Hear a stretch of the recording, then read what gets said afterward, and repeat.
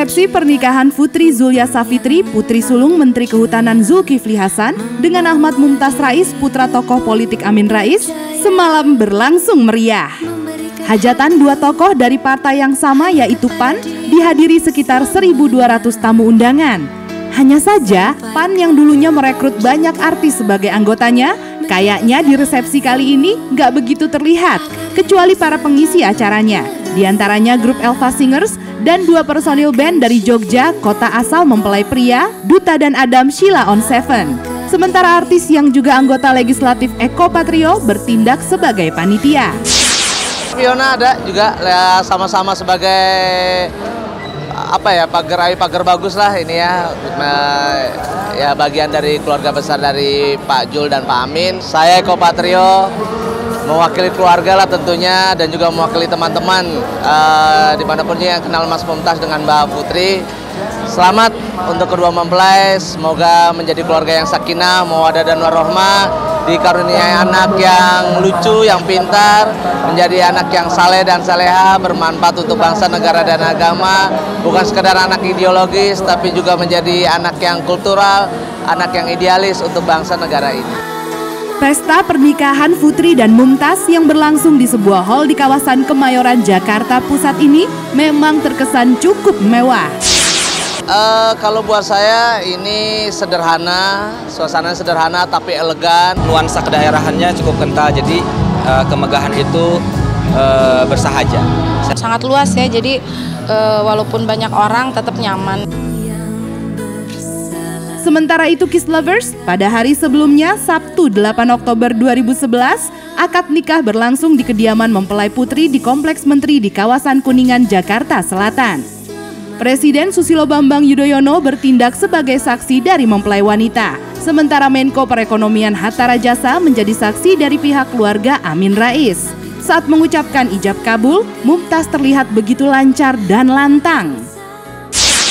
Ananda Ahmad Mumtaz Rais bin Muhammad Amin Rais saya nikahkan dan kawinkan anak kandung saya Putri Zulia Safitri dengan mas kawin 13 keping koin emas tapi masih 40 gram tunai. Saya terima nikahnya dan kawinnya Putri Zulia Safitri binti Zulkifli Hasan dengan mas kawin yang tersebut tunai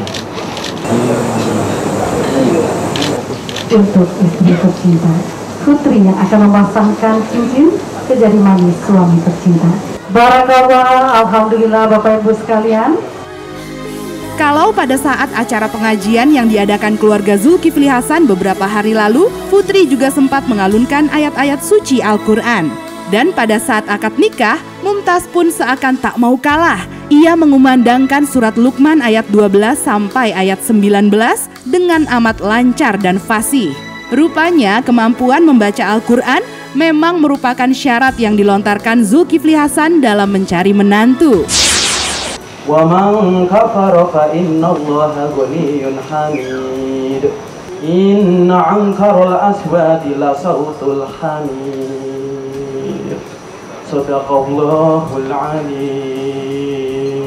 Jadi alhamdulillah syarat-syarat dari mertua saya itu justru menjadi hobi saya gitu.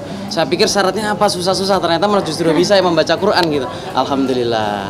Dan syarat kedua harus bisa menjadi imam. Insya Allah dengan hari ini tanggal 8 Oktober 2011 saya akan mencanangkan diri untuk menjadi imam bagi istri saya maupun adik-adik saya dan juga anak-anak saya ke depan. Ahmad Mumtaz, pria kelahiran Yogyakarta 17 September 1983 dan merupakan lulusan Fakultas Ekonomi Universitas Gajah Mada ini dalam akad nikah menyerahkan mas kawin berupa 13 keping koin emas, di mana masing-masing koin beratnya 40 gram.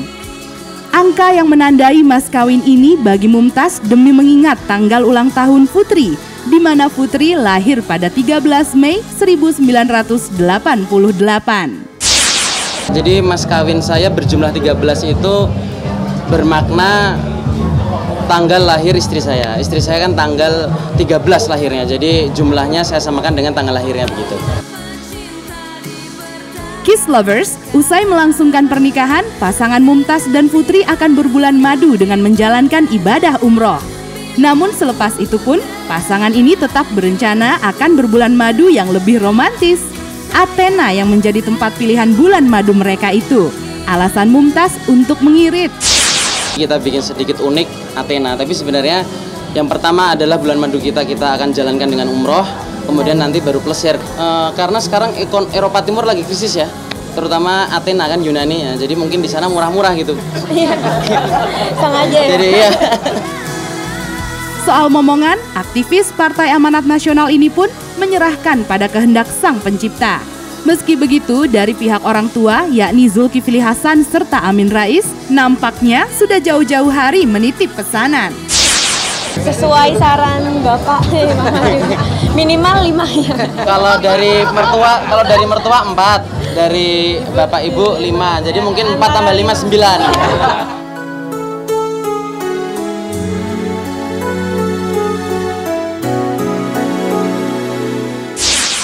Enggak sih kayaknya ya, kita sih yang penting jalanin aja. Insya Allah kalau misalnya memang jodoh uh, bisa uh, ke tingkat yang lebih serius lagi.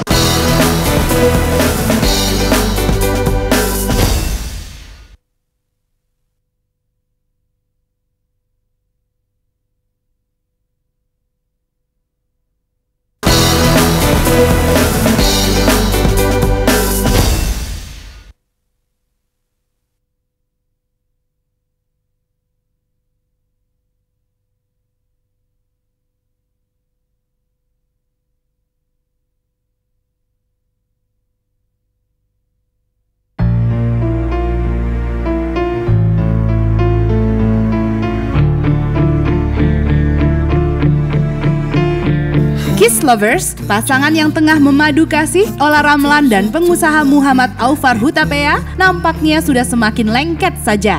Kebersamaan keduanya makin sering terlihat di sejumlah kesempatan, termasuk saat menghadiri acara pernikahan Talita Latif dan Denis tadi malam. Namun Ola dan Aufar agaknya belum punya target untuk menuju ke pelaminan. Enggak sih kayaknya ya, kita sih yang penting jalanin aja. Insya Allah kalau misalnya memang jodoh uh, bisa uh, ke tingkat yang lebih serius lagi. Tapi semuanya sih kan um, apa ya tergantung yang maha kuasa. Kita di sini kan manusia hanya me, uh, menjalankan yang terbaik. Insya Allah kalau misalnya uh, bisa kesampaian ya. Sih? Uh, jalanin aja ya. Sejauh ini, hubungan janda beranak satu dengan pria yang usianya lebih muda itu sudah terbilang serius. Dan nampaknya hati Ola Ramlan pun menaruh harapan besar pada putra pengusaha Daniel Hutapea ini. Urus-urus aja. Dia serius-serius aja. Ya kita serius sih. Um, ya insya Allah sih jalanin aja. Yang penting uh, apa? Um, ya yang normal-normal aja saya kerja dia kerja saya support dia dia juga support saya support saya ya ngerti saya support saya dia apa pun ya uh, semuanya lah ya dengan kesibukan saya dengan uh, status saya dan um, apa yang penting dia juga um, menyayangi saya gitu. Kiss Lovers menjadi kekasih dari seorang artis bukanlah penghalang bagi Alvar yang pengusaha. Begitupun dengan predikat janda beranak satu di status Ola bukan masalah besar bagi Alvar. Bahkan kedekatan Alvar dengan Shan, putra sematawayang Ola dari perkawinannya dengan Alex Tian, sudah mulai terjalin. Insya Allah siap jalanin dulu. udah ya udah jalan-jalan, udah pergi nonton juga, udah udah deket juga sama Alvar, Shan udah deket juga sama Alvar, jadi alhamdulillah um, semuanya baik-baik saja.